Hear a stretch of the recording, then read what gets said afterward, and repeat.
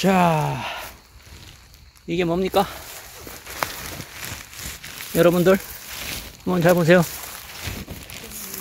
이것 좀 보세요, 이거.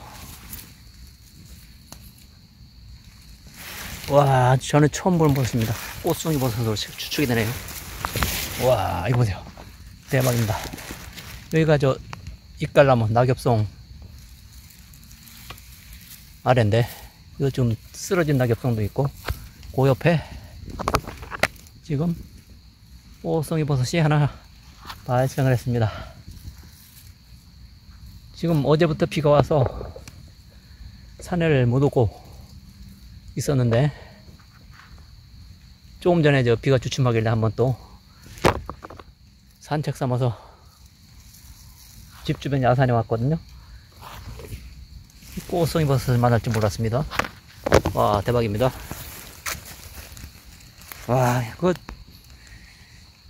여름에 그냥 이거 한번 만나보려고 여기저기 좀 찾아봤는데 그때는 안 보이더니 우연찮게 또 이 꽃송이 버섯을 만나게 됐습니다. 와 진짜 오늘은 운이 좋은 거네요. 운이 좋습니다. 와 어휴 뭐 저 저 저 아 보세요. 보세요 보세요. 약간 뭐 노균화가 지금 돼가고 있는데 그래도 먹는 데는 지장이 없을 것 같아요. 지금 비가 와서 지금 스킵을 많이 먹어서 더 그렇게 보이는 것 같아요.